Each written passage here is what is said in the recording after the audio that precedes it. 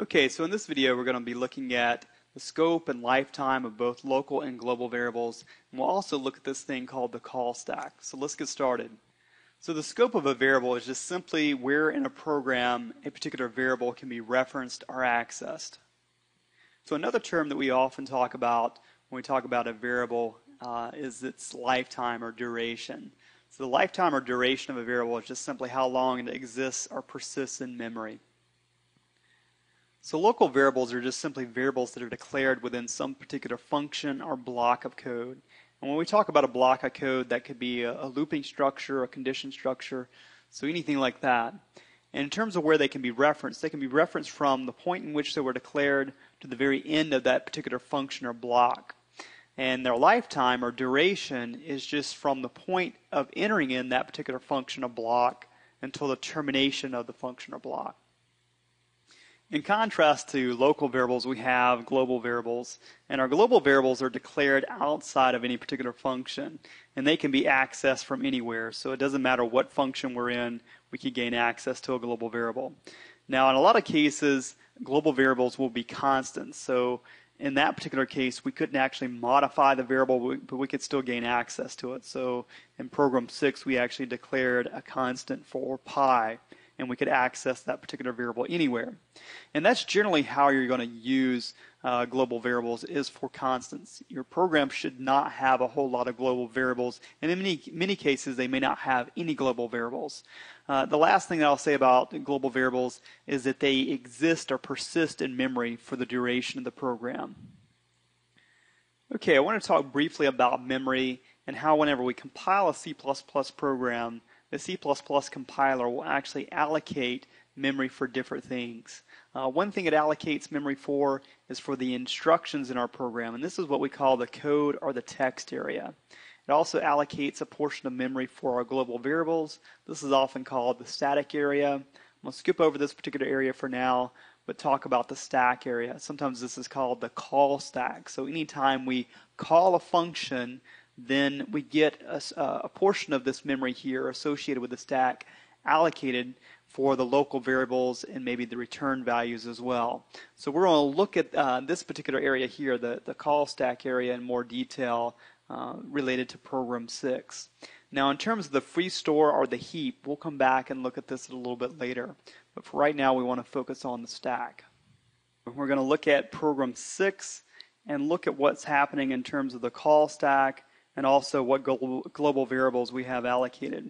So in this particular program, we only have one global variable. So I'm going to go ahead and write that global variable for pi over here. And it was assigned the value of 3.14159. Okay, so when we start execution of this program, it starts in main. And so any of the variables that are defined inside of main, that would be considered local variables to main. And what happens is, is we'll actually get a portion of the stack allocated to the main function. So I'm going to go ahead and just draw a, a line here. And we'll say that this bottom part is just simply the, the memory that's been allocated for, for main. Okay. So this is uh, where all of main's local variables will reside. And this can go by uh, several different names. Uh, some people call this the activation record. Some people call it a stack frame. I'm going to use the word stack frame and just abbreviate it SF. So all we're saying is, is this is main stack frame and this is where main's variables live. So when we first enter into this particular function here, we'll have space allocated for the variable radius. Uh, radius, we'll have uh, space allocated for a circle and space allocated for a v sphere. Okay. Now, how the compiler actually does that uh, depends. But for right now, we'll make this assumption that this particular compiler, when we first come into this function, it allocates space for these three variables. Now, that doesn't mean that these variables are in scope. They only become in scope in, uh, after you've actually executed the statement in which they were declared. So a circle wouldn't be available to, for us to reference until after this particular statement here. Same thing with v sphere. All right? And these particular uh, variables are only can be referenced inside of this particular function and after their point of declaration. So you couldn't actually reference a circle or v circle in any of the other functions. Okay. So in this particular case, uh, we're executing the first, we'll assume that we're executing the first statement here in main, and we actually get a call to another function called get pos int. So what transpires is we get another stack frame. So for every single function call we have, we get another stack frame for that particular function. In this case, it's called get pos int. So this is get pos int stack frame. So this is where get pos int, uh, um, local variables will go. So it has a local variable here in the formal parameter. So all of our formal parameters are considered local variables. And it also has another local variable called num. So we get space allocated here. Now, whenever this particular function was called, we actually passed a string value to it. So we pass in uh, enter a positive integer for the radius of circle sphere to this variable called message. So I'm going to say that we have uh, that particular string passed in, and it's just enter. And I'm not going to be able to write out the whole thing, but I'll just write the first couple of words. Enter a positive. Okay, but assume that this whole entire string is being passed in. So we get a copy of that string passed to this variable called message.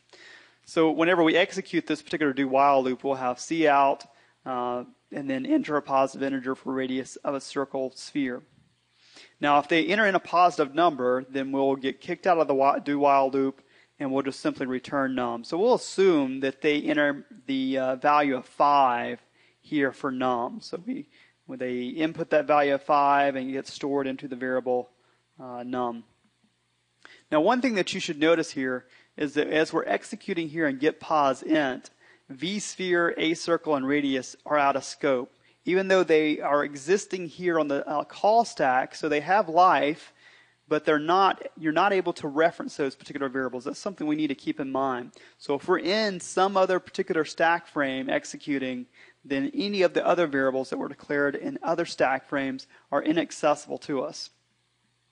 So the last thing that happens here in get pos int is we are going to return that value of 5. So that value of 5 is going to be returned down here to the main stack, stack frame, and more specifically, it's going to be returned to the point of invocation where we have get pos int. So as soon as this thing terminates, as soon as it finishes executing and it gives back that value of 5, then all of this stuff goes away. It gets removed from the stack, or what we say is popped off of the stack. I'm going to go in here and actually uh, erase this if I can. Let's see if I can erase this uh, bit, and I'll erase this bit over here. Okay. So we now have, uh, we've now returned control back to the main function. And what we've done is just simply return that value of 5. So that value of 5 was passed back. And so 5 is now going to be stored here in radius. And once we've done that, now we can execute uh, area of circles. So this is another call to a function. So I'm going to go ahead and allocate that space back on the call stack here. So we get space allocated for uh, this function called area of circle. So we have area of circle stack frame. And what happens, let me see if I can move down here a bit so we can read that a little bit better. Okay. So down here in area of circle, we actually have a formal parameter called r. So there's space allocated for r. And that's the only local variable that we have in this particular function. Now what happens is, is we're getting this value that was stored here in radius passed into, let me see if I can underline that a little bit better. So we're getting that value that was um, stored here in radius passed into uh, this particular function here. And more specifically, it's being passed, a copy is being passed in here to R. So we can imagine that this 5 here, a copy of it's being passed up here to R. Now, what you'll notice in this particular function is we actually call another function. So we're calling the pow function or the power function, which allows us to take 5 and raise it to a particular power. So I'm going to go ahead and allocate space for that. So this does actually occur, even though we don't have the code for this. Uh, this is what's going on behind the scenes. We get space uh, allocated on our call stack for pow. And so that 5 is actually being passed up here to this particular function. And it's just performing some operation in which it squares that value. And once it finishes squaring that value, then that stack frame gets popped off or removed. So let me go ahead and remove this stack frame. We'll assume that it's done its operation and it's squared that value. Well, I guess before we do that, uh, let me do this. So if we squared 5, that would be the value of 25. So it's actually returning the value of 25. So the last thing it does is it returns this value of 25, and then that uh, POW function, all of its local variables and stuff, gets popped off of our stack. So we'll go in here and say that this thing has been uh, popped off. All right. Uh, all right, so we're back down here in area of circle.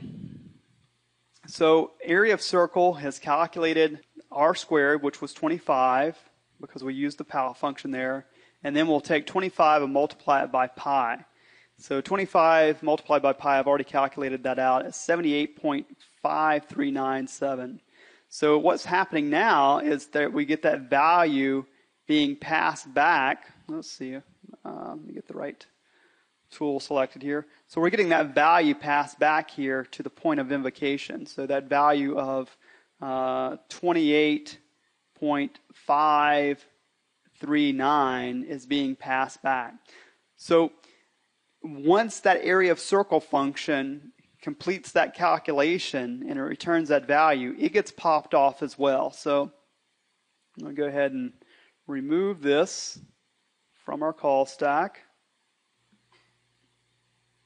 And to remove this as well. So this is basically our picture right now. We're, we're back here uh, inside of main, and we just calculated the area of circle based off of our radius of 5. And now we've stored that into a circle. So we have 28.539. Let me clean up some of this other stuff as well, since this is actually not there anymore. Okay. So we have that, and now we're going to calculate the volume of the sphere. So we got to go and call another function. So we get space allocated once again on the call stack. So you can see that the stack is actually growing and shrinking as we call these functions. So now we're calling vol sphere, which is down here. So let me write this. Vol of sphere. Okay, so this is vol of spheres stack frame. And we notice here that uh, vol sphere also has a local variable called r. So this r here, or this r that's in vol sphere, and this r that was in area of circle are totally two different animals. See, this r doesn't even exist anymore. And this r is now in existence since we just called vol of sphere. Okay, so we've called uh, vol sphere, and what happens? We actually are passing the radius once again, which has the value of 5. So that value is being passed up here once again to this particular function. So we get the value of 5 there. But this time, whenever we look at the expression that's being evaluated here, we have 4 thirds pi r cubed. So once again, we get uh, the POW function that's created. So we got the POW's function stack frame that's created for us on the call stack. And it receives that value of 5. And what does it do? It actually cubes that value. So it calculates the uh, cube of 5, or it cubes 5, and so that's uh, 125 that's being passed back. So once this thing calculates uh, 5 raised to the third power, it's going to return that 125 back. So what we're going to do is say that it's performed that operation and it's returning that value back, and it gets popped off of the stack here. Let's see if I can clean this up a bit. All right, so vol sphere, once it has that value of 125 being passed back, it uses that 125 here, multiplies it by pi, and then multiplies it by, or maybe I'm saying this in the wrong order. It would take uh, 4 thirds, multiply it by pi, and then multiply it by the 125. And that is calculated to be 523.598. So what happens is we get Let's see, we get that value that's being passed back here. So it's 500, 523.598. Okay, so that's what's being stored there. So the, as soon as that value is returned, we get this stack frame being popped off or being removed from the call stack. So I'm going to go ahead and, and represent that uh, being removed from our, our call stack. Okay, maybe clean this up a little bit. So that 523 is being returned here to vSphere. And at that point in time, we have the radius area circle in vSphere. And at this point in time, we can just simply do these output statements using cout. So the area of a circle that has a radius of 5 is 28.539. The volume of a sphere that has a radius of radius v sphere. So this would be 5, and v sphere would be 523.598. And notice how we can, in fact, reference these particular variables, radius and v sphere, because they were local variables that were defined inside of this function called main. So since we're now back executing in this particular function, we have no problem referencing those guys because they're now in scope. Now, as soon as we finish that and do the return zero, then everything here on main will be popped off the stack. So our, our uh, stack frame will be clear of everything. So let me go ahead and, and remove that. Let's go in here. And at that point, our program has terminated, and we'll just return to whatever our environment was. So if we invoked this from a command line, it would be just returning control back to the command line. And that's basically it. So in this particular video, we looked at uh, drawing out what was occurring on the call stack, looking at the stack frames, what was in scope, what had life. So anytime we saw a particular variable in the call stack, we knew that it had life. Now, it may not be in scope, but at least it was existing there in memory. And we also looked at uh, global variables here. So I forgot about our global variable pi, but it was accessible throughout this entire program. So after our program terminates, then that, that space would also be given back. All right, so that's it.